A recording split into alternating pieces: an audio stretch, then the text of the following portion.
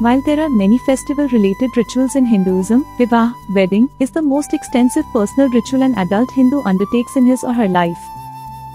Typical Hindu families spend significant effort and financial resources to prepare and celebrate weddings. The rituals and process of a Hindu wedding vary depending on region of India, local adaptations, resources of the family and preferences of the bride and the groom. Nevertheless, there are a few key rituals common in Hindu weddings, Kanyadan, Panigrahana, and Saptapadi. Gifting away of daughter by the father, voluntarily holding hand near the fire to signify impending union, and taking seven steps before fire with each step including a set of mutual vows.